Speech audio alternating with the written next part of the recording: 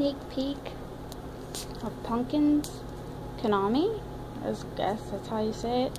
That's the PJ thing. Here's his horns. They're very squishy, made out of vinyl. And yes, it is storming at my house. So, spikes for his cheeks. I didn't do the face one because I just didn't want to. Um, like Lemon Brett does, but I do mine differently. So you get like the custom creature face is your face. So, but everything like beyond your cheeks and over. Um, he doesn't really have feathers besides on his tail, but this is just a sneak peek of him. He's on my little dummy thing. And his ears are posable so you can like bend them anyway you want.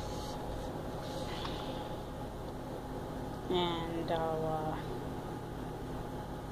uh, and I'll show you what he looks like on me.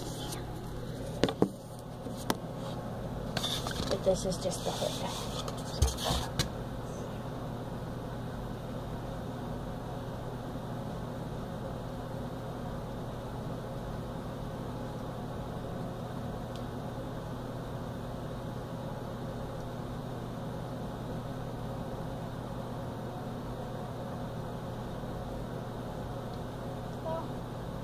It's just the hood, like I said, the spikes are like on my cheeks and my horns, my ears. I can pose them any way I want.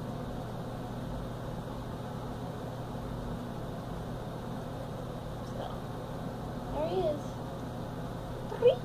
Have a good one.